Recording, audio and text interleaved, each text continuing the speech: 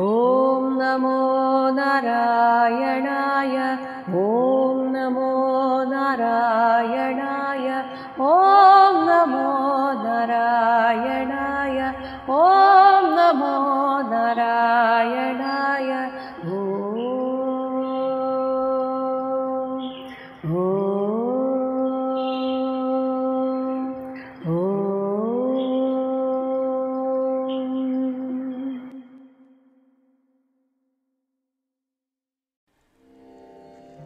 വൈകുണ്ഠ രൂപ വർണന തുടരുകയാണ്. ഇതിൽ ഇനി ശ്രീ ലക്ഷ്മി ദേവി വൈകുണ്ഠത്തിൽ എങ്ങനെ വസിക്കുന്നു എന്നതിനെക്കുറിച്ച് പറയുന്നു. ഇരുപത്തി ഒന്നാമത്തെ ശ്ലോകം. ശ്രീരൂപിണി ക്വണയതി ചരണാരവിന്ദം ലീലാംബുജേന ഹരിസദ്മനി മുക്തദോഷാഹ സംലക്ഷ്യത്തെ സ്ഫടികകുഡ്യ ഉപേദഹേംനി സമ്മാർജതി ഇവ. സമ്മാർജതീവ യദനുഗ്രഹണേ അന്യയത്നഃ യദനുഗ്രഹണേ അന്യയത്നഃ ശ്രീരൂപിണി കുണയതി ചരണാരവിന്ദം ലീലാംബുജേന ഹരിസദ്മനി മുക്തദോഷ സംലക്ഷ്യത്തെ സ്ഫടികകുഡ്യ ഉപേദഹേംനി സമ്മാർജതീവ യദനുഗ്രഹണേയന്യയത്നഃ യാതൊരു ദേവിയുടെ അതാണ് യത് അനുഗ്രഹണേ. ലക്ഷ്മീദേവി പ്രസാദിക്കാൻ വലിയ ബുദ്ധിമുട്ടാണ്. അതിന് അന്യയത്ന ആർക്കൊക്കെയാണോ പ്രയാസം? അതായത് ഭഗവാനെ പ്രസാദിപ്പിക്കുന്നവർക്ക് മാത്രമേ യഥാർത്ഥത്തിൽ ദേവിയെ പ്രസാദിപ്പിക്കാൻ സാധിക്കുകയുള്ളൂ. ഇങ്ങനെ യദനുഗ്രഹണേ അന്യയത്ന സാധാരണ ആളുകൾക്ക് യാതൊരു ദേവിയുടെ അനുഗ്രഹം നേടുന്നതിൽ വളരെയധികം പ്രയാസമുണ്ടോ? അങ്ങനെയുള്ള ശ്രീഹി ആ ലക്ഷ്മി ഭഗവതി രൂപിണി സൗന്ദര്യത്തിന്റെ ഉദാത്ത ഭാവത്തോടെ മുക്ത ദോഷാഹ ഒരു തരത്തിലുള്ള ദോഷവും ഇല്ലാത്ത ചരണാരവിന്ദം തന്റെ പാദാംബുജത്തെ കൊണയതി ആ പാദസര കിലുക്കത്താൽ ധ്വനിപ്പിച്ചുകൊണ്ട് ദേവി നടക്കുന്ന സമയത്ത് പാദസര കിലുക്കമുണ്ട് എന്ന് അർത്ഥം. ഇനി എവിടെയാണ് ദേവി ഇരിക്കുന്നത്? സ്ഫടിക കുഡ്യേ. സ്ഫടികം കൊണ്ടുണ്ടാക്കിയ ഭിത്തികൾ ഉള്ളതും ഉപേത ഹേംനി പൊന്നും കൂടെ ചേർന്നത് ഹേമം സ്വർണം. അതിനിടയിലൊക്കെ സ്വർണം കൊണ്ടുണ്ടാക്കിയ പല പലതരത്തിലുള്ള ചിത്രപ്പണികളോ അല്ലെങ്കിൽ അതിനിടയിൽ സ്വർണവും പൂശിയിട്ടുണ്ടാവണം. ഇങ്ങനെയൊക്കെയുള്ള ഭഗവാന്റെ ഹരിസദ്മനി ഭഗവാന്റെ ആ ഗൃഹത്തിൽ തന്റെ കയ്യിലുള്ള വലിയ താമരപ്പൂ അത് താഴേക്ക് പിടിച്ചാണ് ദേവി നടക്കുന്നത്. അങ്ങനെ നടക്കുന്ന സമയത്ത് ലീലാംബുജേന തന്റെ കയ്യിലെ കളിത്താമരപ്പൂ കൊണ്ട് നിലത്ത് സമ്മാർജതി ഇവ അടിച്ചു വാരുകയാണോ എന്ന് തോന്നും വിധത്തിൽ സംരക്ഷ്യതേ കാണപ്പെടുന്നു. അപ്പോൾ അതിന്റെ തണ്ടിനും അത്രയും നീളമുണ്ടാകും. ദേവി പിടിച്ചിരിക്കുന്ന താമര താഴെ അങ്ങനെ ഇഴയുന്നത് പോലെ ആയിരിക്കാം. അതുകൊണ്ടാണ് ആ നിലം അടിച്ചു വാരുകയാണോ ഈ താമരപ്പൂ കൊണ്ട് എന്ന് തോന്നിപ്പിക്കുന്ന വിധത്തിൽ ലക്ഷ്മീദേവി അവിടെ അങ്ങനെ വിളങ്ങുന്നു. श्रीरूपिणी कुणयति चरणारविन्दं लीलाम्बुजेन हरिसद्मनिमुक्तदोषा संलक्ष्यते स्फटिककुड्य उपेदहेम्नि सम्मार्जदेव यदनुग्रहणे न्ययत्न ഇനി വൈകുണ്ഠത്തിലെ തന്റെ ഉപവനത്തിൽ തോഴിമാരോടൊത്ത് സല്ലപിക്കുന്ന ദേവിയെക്കുറിച്ച് പറയുന്നു. ഇരുപത്തിരണ്ടാമത്തെ ശ്ലോകം. വാപീഷു വിദ്രുമതടാസു അമല അമൃതാപ്സു പ്രേഷ്യ അന്വിത പ്രേഷ്യാന്വിത നിജവനെ തുളസീഭിഹി ഈശം തുളസീഭിരീശം അഭ്യർച്ചതി സ്വളകം उन्नसम् ईक्ष्य स्वळगमुन्नसमीक्ष्य वक्त्रम् उच्छेषितं भगवता इति अमत अङ्ग भगवदेत्यमताङ्ग यत् श्रीः यच्छ्रीः वापीषु विद्रुमतटास्वमलामृताप्सु प्रेष्य अन्विता निजवने तुलसीभिरीशम् അഭ്യർച്ചതി സ്വളകമുന്നസമീക്ഷ്യ വക്ത്രമുച്ഛേഷിതം ഭഗവതേത്യമതാംഗ യശ്രീഹി ബ്രഹ്മാവാണ് ദേവന്മാരോട് പറഞ്ഞു കൊടുക്കുന്നത്. അതുകൊണ്ട് വിളിക്കുകയാണ് ഹേ അംഗ ദേവന്മാരെ യത്ത് യാതൊരു വൈകുണ്ഠലോകത്ത് ശ്രീഹി ലക്ഷ്മി ഭഗവതി പ്രേഷ്യ അന്വിത പ്രേഷ്യ എന്നാൽ തോഴിമാർ.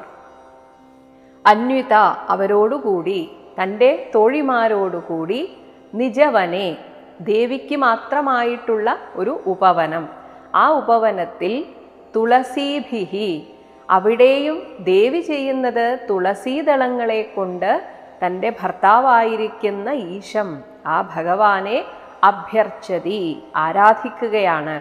അങ്ങനെ ആരാധിക്കുന്നവളായിരിക്കുന്ന സമയത്ത് അവർ ഇരിക്കുന്നത് ഒരു തടാകത്തിന്റെ ചുറ്റിലുമായിട്ടാണ്. ആ തടാകത്തിന്റെ അവിടെ ചുറ്റിലും കല്ലുകൾ കെട്ടിയിട്ടുണ്ട്. അത് ഏതുകൊണ്ടുള്ള കല്ലാണ്? വിദ്രുമതടം. പവിഴക്കല്ലുകൾ കൊണ്ടാണ് കര ചുറ്റിലും പടുത്തിരിക്കുന്നത്. അതിലെ വെള്ളമാകട്ടെ അമല അമൃത അപ്സു. നല്ല തെളിഞ്ഞ അമൃതം തന്നെയാണ്. അല്ലെങ്കിൽ അമൃതത്തിന് തുല്യമായി തെളിനീര് പോലെയുള്ള അപ്സു ആ വെള്ളത്തിൽ ആ വെള്ളം നിറഞ്ഞ വാപീഷു താമര പൊയ്കകളിൽ അവർ തങ്ങളുടെ മുഖം നോക്കുന്ന സമയത്ത് സു അളകം അളകം കുറുനിര നല്ല മനോഹരമായ കുറുനിരകൾ ഉള്ള അതേപോലെ ഉന്നസം ഉയർന്ന നാസികകളോടുകൂടിയ തങ്ങളുടെ വക്ത്രം മുഖത്തെ. ലക്ഷ്മീദേവി തന്റെ മുഖത്തെ നോക്കുമ്പോൾ കൂടുതൽ ചുവന്നതായിട്ട് ഈക്ഷ്യ കണ്ടിട്ട്. കാരണം പവിഴമാണ് ചുറ്റിലും. ആ പവിഴത്തിന്റെ പ്രകാശം ഈ തടാകത്തിൽ പ്രതിഫലിക്കുന്നു. അങ്ങനെ ദേവി തന്റെ മുഖം നോക്കുമ്പോൾ ദേവിയുടെ മുഖവും ചുമന്നിരിക്കുന്നു. അപ്പോൾ ഉള്ളിൽ അനുരാഗമുണ്ടെങ്കിൽ അതുപോലെ അനുരാഗത്തോടുകൂടി ഭഗവാൻ ചുംബിക്കുമ്പോഴും ദേവിയുടെ മുഖം ഇങ്ങനെ അരുണവർണം ആകാറുണ്ട്. അതുകൊണ്ട് ദേവി തന്നെ ചിന്തിക്കുകയാണ് ഭഗവത ഞാൻ ഭഗവാനാൽ ഉച്ഛേഷിതം ചുംബിക്കപ്പെട്ടതാണോ എന്ന് ഇതി അമത എന്ന് കരുതി. മുന്നിലുള്ള ശ്ലോകത്തിൽ പറഞ്ഞു സ്ഫടിക ഭിത്തികളാൽ നിർമ്മിതമായ ആ ഗൃഹത്തിൽ ദേവി ഇരിക്കുന്നു അല്ലെങ്കിൽ അങ്ങനെ തന്റെ കളിത്താമര വെച്ച് സഞ്ചരിച്ചു കൊണ്ടിരിക്കുന്നു. അതേസമയം മറ്റുള്ള വേളകളിൽ തന്റെ തോഴിമാരോടൊത്ത് തന്റെ മാത്രമായിട്ടുള്ള ഉപവനത്തിൽ രസിച്ച് കളിക്കുന്നതാണ്. അവിടെയാണ് പവിഴക്കല്ലുകൊണ്ട് പടകെട്ടി വെച്ച ആ വാപി കുളം പൊയ്ക ഉള്ളത്. അവിടെ മുഖം നോക്കുമ്പോൾ തന്റെ മുഖം ചുവന്നതായി കാണുന്നു എന്നാണ് പറയുന്നത്. वापीषु विद्रुमतडा स्वमलामृताप्सु प्रेष्यान्विता निजवने तुलसीभिरीशम्। अभ्यर्चति स्वलगमुन्नसमीक्ष वक्त्रम्। उच्छेषितं भगवतेत्यमताङ्गा यच्छ्रीः ഇനിയും ഇരുപത്തിമൂന്നാമത്തെ ശ്ലോകത്തിൽ പറയുന്നത് ആർക്കാണ് വൈകുണ്ഠത്തിൽ എത്തിച്ചേരാൻ സാധിക്കുക? ഇനി ആർക്ക് സാധിക്കുന്നില്ല? യത് ന വ്രജന്തി അഖഭിത എന്ന വ്രജന്തി അഖഭിതോ രചന അനുവാദാത് ശൃണ്വന്തി യേ അന്യവിഷയാ യേ അന്യവിഷയാ കുകഥാ മതിഘ്നേഹി याः तु यास्तु श्रुता हतभगैः नृभिः आत्तसाराः तान् तान्। हतभगैर्नृभिरात्तसारास्तांस्तान् क्षिपन्ति अशरणेषु क्षिपन्त्यशरणेषु तमस्सु हन्त। यन्न व्रजन्त्यघभिदो रजनानुवादात् ശൃണ്വന്തി യേന്യ വിഷയ കുകഥാമതിഘ്നി യാസ്തു ശ്രുതാ ഹതഭഗൈർനൃഭിരാക്തസാരാസ്താൻ സ്ഥാൻ ക്ഷിപന്ത്യശരണേഷു തമസ്സു ഹന്ത. അഖഭിത പാപങ്ങളെ അഖം പാപം. പാപങ്ങളെ ഭിതം ഇല്ലായ്മ ചെയ്യുന്നതാണ് ഭഗവാന്റെ കഥകൾ. ആ കഥകൾ കേൾക്കുന്നത്. അങ്ങനെയുള്ള ശ്രീഹരിയുടെ രചന അനുവാദാത്ത്. വിശ്വരചന. ഇവിടെ ഭഗവാൻ നടത്തുന്ന സൃഷ്ടികർമ്മ സൃഷ്ടികർമ്മങ്ങൾ. അതിനുശേഷം ഭഗവാന്റെ ഭക്തരോട് കാണിക്കുന്ന ഭക്തവാത്സല്യം കാരുണ്യാതിരേകം ഭഗവാന്റെ ഭക്തന്മാരുടെ കഥകൾ. ഇവയൊക്കെ കേൾക്കുന്നതിൽ നിന്ന് അനുവാദാത് എന്ന് വെച്ചാൽ അത് ആ ലീലകളെ അനുവാദം പറഞ്ഞുകൊണ്ടിരിക്കുക. ആ പറയുന്നതിൽ നിന്ന് വിട്ടു നിൽക്കുന്ന അന്യവിഷയാഹ അങ്ങനെ വിട്ടു നിൽക്കുന്നവർ സ്വാഭാവികമായും മറ്റു വിഷയങ്ങളിൽ. ഈ ലോകത്തിൽ നിന്ന് കേൾക്കുന്ന പരദൂഷണ വിഷയങ്ങൾ രാഷ്ട്രീയം അങ്ങനെ എന്തൊക്കെയാണോ ഇന്നത്തെ കാലത്ത് നമ്മുടെ മനസ്സിന്റെ ചിന്തകളെ മാറ്റുന്നത് ഇതൊക്കെ കേട്ടുകൊണ്ട് ഇവയൊക്കെ തന്നെ അവനവന്റെ മതി ഘ്നീഹി മതി ബുദ്ധിയെ കെടുത്തുന്നവയാണ്. ഇങ്ങനെ അവനവന്റെ മനസ്സിന് ഒരു സ്വസ്ഥതയും തരികയുമില്ല. ബുദ്ധിയെ കെടുത്തുകയും ചെയ്യുന്നു. ഇത്തരത്തിലുള്ള കുകഥാഹ ദുഷിച്ച കഥകളെ ഏ ശൃണ്വന്തി ആരാണോ നിരന്തരം കേൾക്കുന്നത്? അങ്ങനെ കേൾക്കുമ്പോൾ അവർ ചിന്തിക്കുന്നതും അത്തരത്തിലുള്ള സംഭവങ്ങളായിരിക്കും. അവരുടെ മനസ്സിൽ ഒരിക്കലും ഭഗവാനെക്കുറിച്ചുള്ള ചിന്ത ഉണ്ടാവുകയില്ല. കാരണം എന്താണോ കേൾക്കുന്നത് അതായിരിക്കും ചിന്തിക്കുക. ആ കേൾവിയാണ് നമ്മുടെ ഉള്ളിൽ ഒരു സംസ്കാരമായിട്ട് രൂപാന്തരപ്പെടുന്നത്. ഇങ്ങനെ മറ്റു കഥകൾ കേൾക്കുന്നവരിൽ ആ സംസ്കാരമാണ് ഉണ്ടാവുക.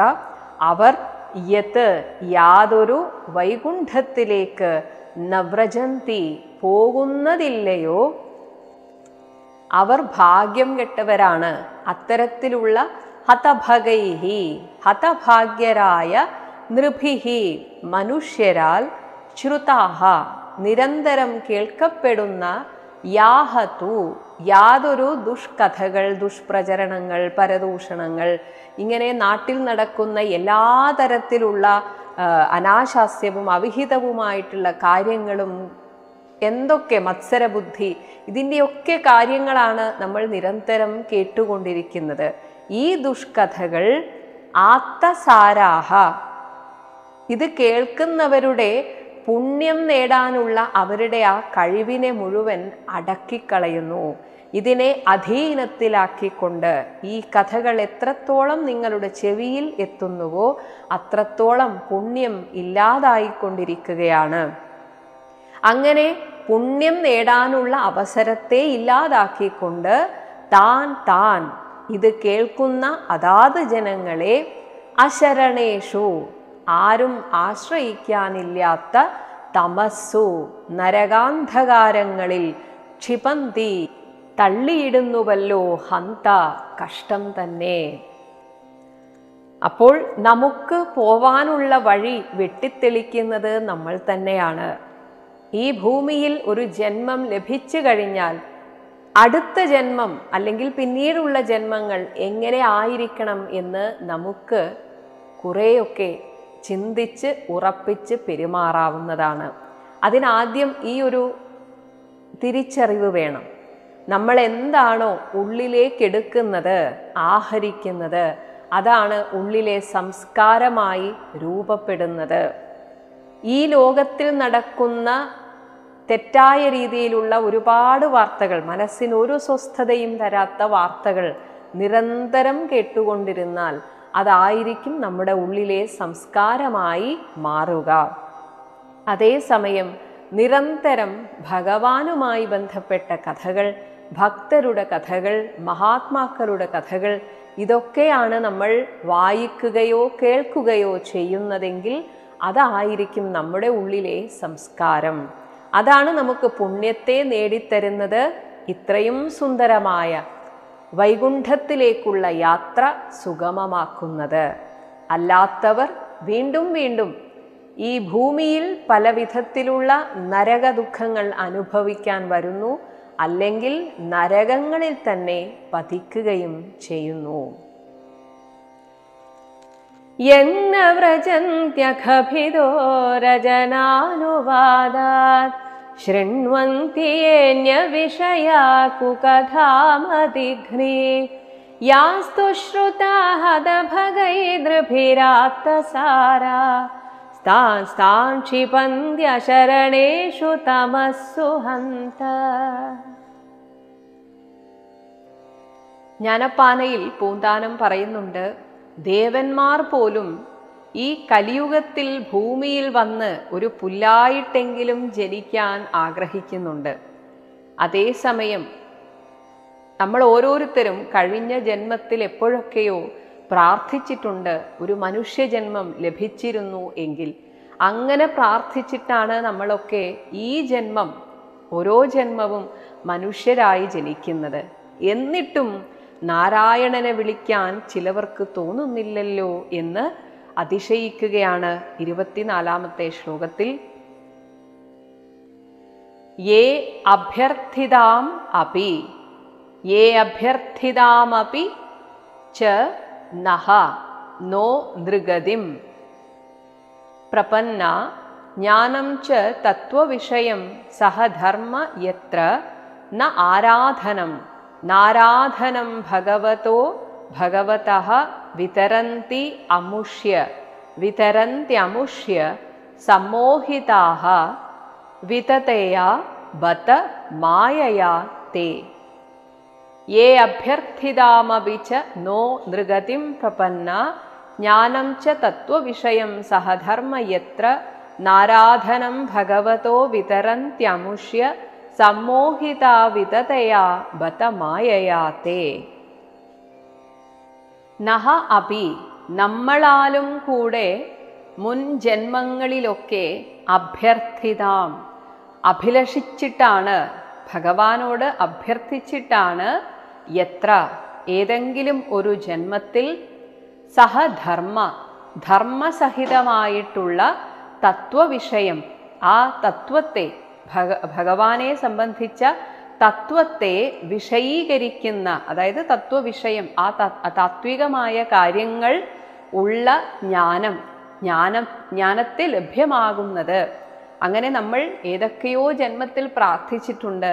എനിക്ക് നല്ല ഭക്തി ഉണ്ടാവണേ ഭഗവാനെക്കുറിച്ചുള്ള തത്വം അറിയണമേ എന്ന് പ്രാർത്ഥിച്ചിട്ടാണ് നമ്മൾ ഓരോ ജന്മത്തിൽ നമുക്ക് ഭഗവാനോട് അടുക്കാനുള്ള ഒരു സാഹചര്യം ഉണ്ടാകുന്നതും അതിനുള്ള മനസ്സ് ഉണ്ടാകുന്നതും.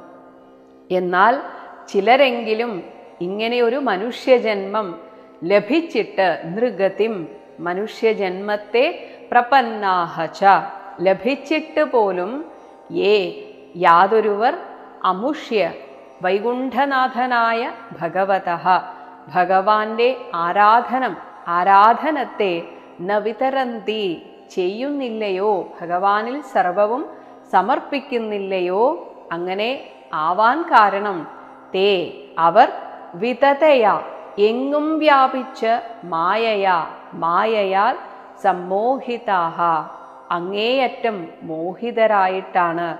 ബത ഹാ കഷ്ടം തന്നെ. തങ്ങൾക്ക് ലഭിച്ച മനുഷ്യജന്മം എന്തിനാണെന്ന് പോലും അറിയാതെ ചിലരൊക്കെ ഈ മായയിൽപ്പെട്ട് ഉഴറുന്നുവല്ലോ.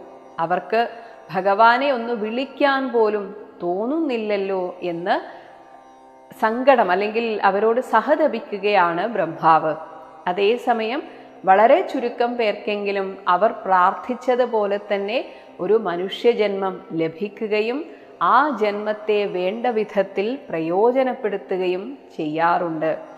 ഇങ്ങനെ ഒരു മനുഷ്യജന്മം ലഭിക്കാനും ആ ജന്മത്തിൽ ഭഗവത് ഭജനം ചെയ്യാനും ഒക്കെ നമ്മെ പ്രാപ്തരാക്കുന്നത് നമ്മുടെ തന്നെ മുജ്ജന്മങ്ങളിലെ പ്രാർത്ഥനയാണ് എന്നാണ് പറയുന്നത്.